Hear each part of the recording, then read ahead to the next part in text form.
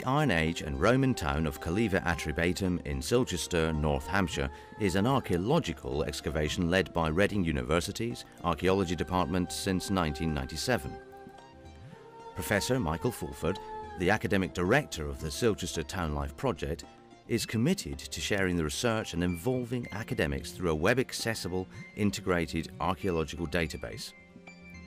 The last excavation of the site in the late Victorian period left many questions unanswered.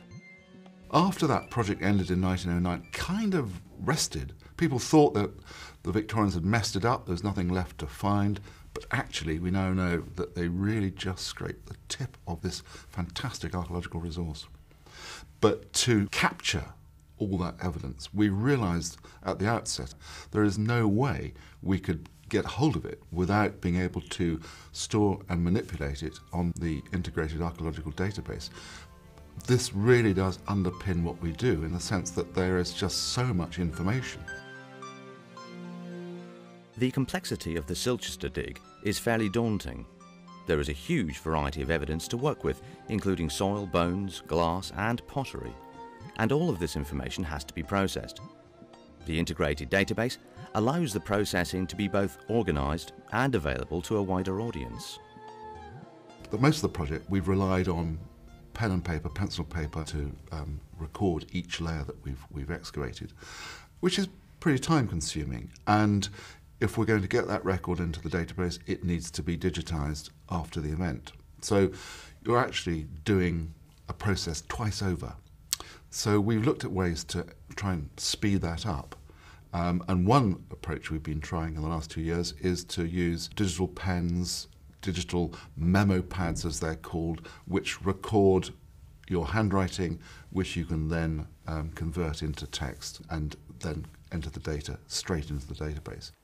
The context is the building block that archaeologists use. It's the smallest unit of archaeology and um, any archaeological site is composed of you know, hundreds and thousands of these contexts or units and each one of them has to be recorded.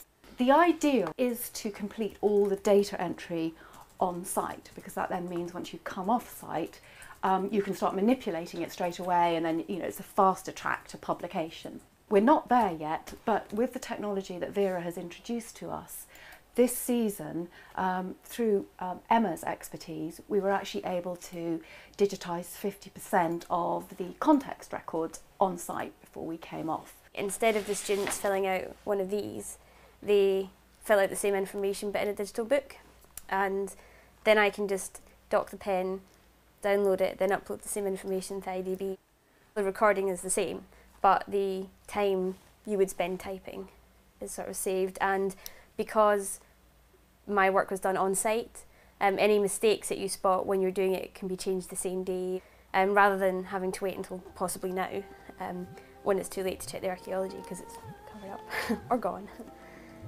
Access to the integrated archaeological database through the internet has played an important role in involving specialists in the Silchester project. The data-rich records are the foundation for 2D reconstructions of Silchester, for traditional paper-based publications and dissemination via the web. From the database, we've got absolutely everything that the archaeology has to tell us about Building 1. I can export that plan from the database as a, a file which I can open in Adobe Illustrator.